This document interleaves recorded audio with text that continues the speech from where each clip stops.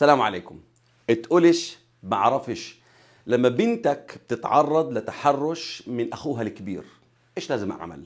الأم بتتفاجأ في بعض الأحيان لما بتجيها بنتها وبتقول لها ماما أخوي الكبير عمل معي هذا التصرف.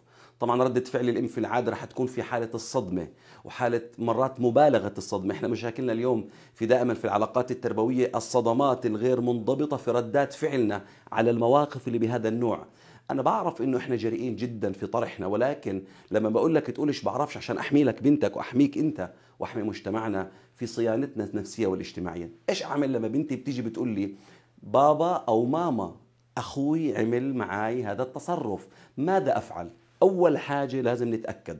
لازم تتأكد إنه الفعل صحيح وغير مبالغ فيه. لازم تتأكد إنه بنتك فسرت أو بنتك فسرت الموقف بالشكل الصحيح. ولا يمكن أن يكون مبالغة أو نوع من أنواع الانتقام لأنه مرات في بعض الأحيان بكون الاخ الإخوة فيما بينهم بينتقموا من بعض أو ردات فعل مبالغ فيهم أو تفسيراتهم للمواقف مبالغ فيها. إذا تأكدت 100% من هذا الموقف لازم تروح وين؟ لابنك اللي تصرف هذا التصرف وتبدأ في مفهم فهم ليش هذا الموقف صار؟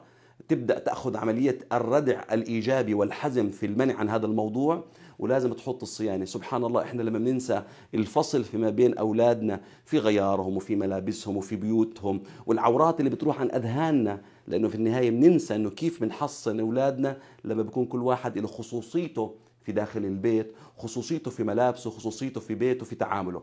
هذا مهم جدا على فكرة مشان تحمي بنتك وتحمي نفسك وتحمي المجتمع اليوم لازم نضلنا نتطلع على كل هاي المواقف ولو كانت بسيطة. هاي مواقف مش سهلة على فكرة. هاي مواقف عميقة وخطيرة. إذا أنا حصنت ابني وبنتي ودرت بالي عليهم ما بيصيروش ضايعين وتايهين في التعامل مع هذا الموقف. إذا أنا بدي أتأكد من بنتي بدي أعرف إنه الموقف صحيح الموقف فيش فيه مبالغة؟ وبدي أفهم ليش صار بدي أروح أردع الإبن بالشكل الحازم الصارم دون العنف. مش مطلوب إنك تكون عنيف. بدك تفهم تحط حدود وتحط مساحات وتحط اتزان وتبدأ تعمل تعزيز ثقة لبنتك في نفسها وأكيد تنتبه على الفصل فيما بينهم خصوصا في العورات وفي داخل البيوت. لما تفكر بهاي الطريقة انت بتحمي بنتك بتحمي بنتك وبتكونوا قادرين على حماية البيت من أي انزلاقات لا سمح الله في أي لحظة وأي وقت. وتنساش. تقولش بعرفش.